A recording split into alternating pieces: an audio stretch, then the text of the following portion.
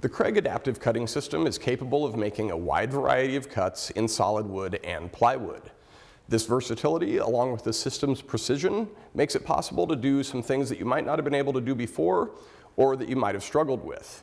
Here are just a few ways that the adaptive cutting system can help you take your project building skills to the next level.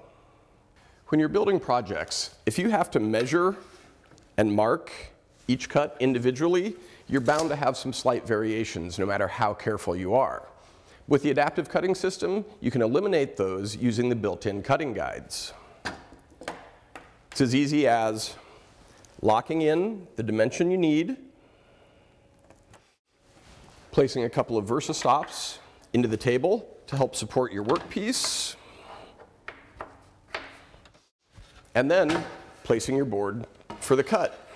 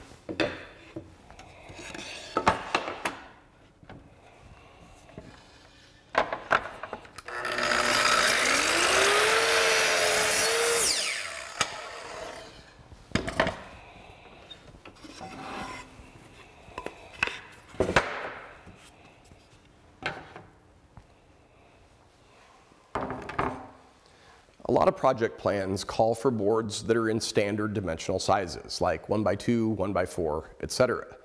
But finding all the boards that you need for your project can be challenging and the cost can add up. With the adaptive cutting system, you can make your own dimensional boards by starting with a wider board and then ripping it down into the narrower widths that you need. It's a really great way to make your own good-looking dimensional lumber. And you can do one other thing. A lot of times, Boards from the home center get banged around a lot, so the edges get beat up and dented. So the first thing I like to do is trim off just a little of that edge. Just place the board under the track, so just a little bit of the edge is sticking out. You don't have to be exact. I've got more board than I need here. Got a Versa stop under that end to stop it from moving, and I'll bring in the repetitive stops just for some extra support. Dimension doesn't matter right now. Now, I'm ready to trim off this edge.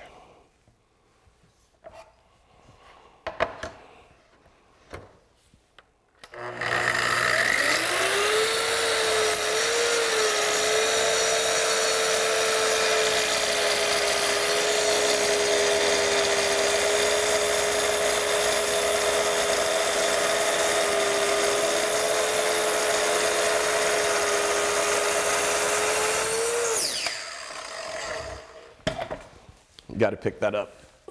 It's kind of cool that you can get that kind of result with the adaptive cutting system.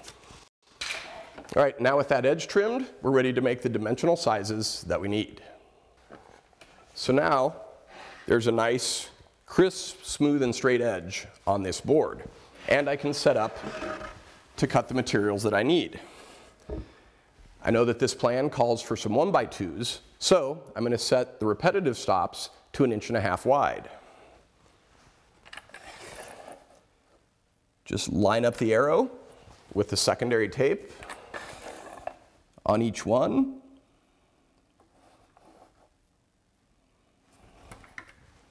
Double check myself, good. Now, make sure that you're putting the edge you just trimmed under the track and against the stops. And for narrow cuts like this, where there's not a lot of board under the track, it's also a good idea to support the other edge of the track with a piece of scrap that's the same thickness. Now, I'm ready to cut.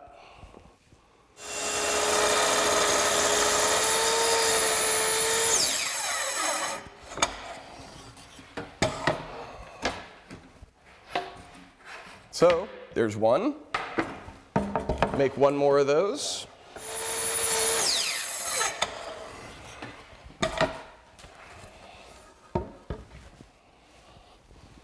So now,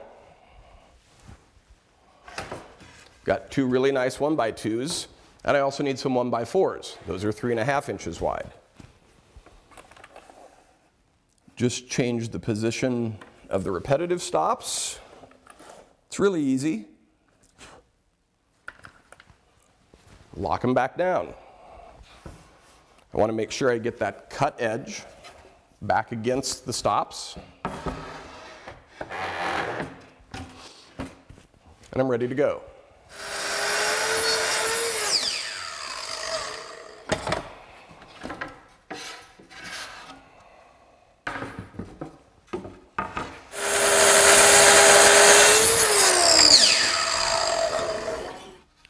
So with just a few cuts, got some really nice boards here. Made four boards in two different widths out of one.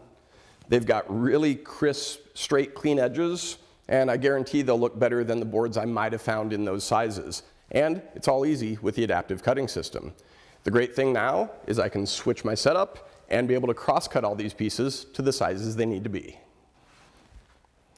So a lot of projects being built these days in a rustic style, and part of the reason they're so popular is because you can make them from inexpensive construction lumber, two by fours, two by sixes, etc. But when you build with this construction lumber, you're kind of stuck with the way it looks. You've got the rounded edges, the gaps that show up in between, and if you want to butt pieces together, you're just always going to have that rough look.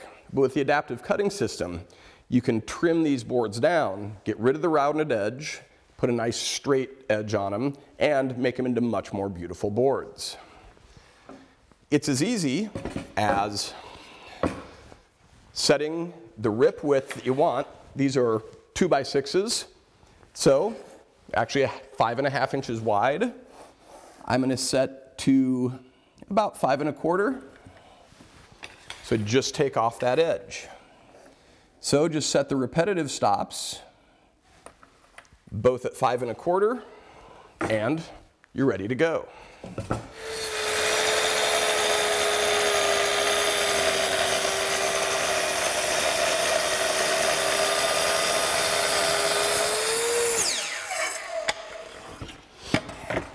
There's one.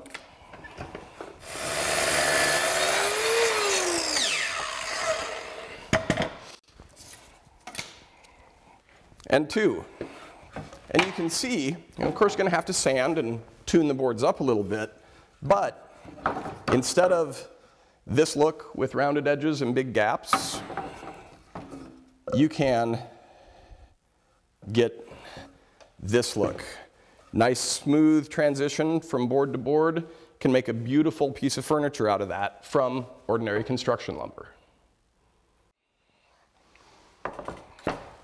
One way that the adaptive cutting system really helps you take your project skills to the next level is that it no longer limits you to dimensional boards like you'd find in home centers. Now you can use high-end hardwoods like cherry or oak or walnut. These usually aren't sold in dimensional sizes, they're sold in random widths and lengths. And with the adaptive cutting system, you can use these boards now because you can rip them to any width you need. You can cross cut them. You can do all of the things to make custom boards out of any lumber that you want. And that definitely opens up a whole new world of project possibilities and takes you to the next level.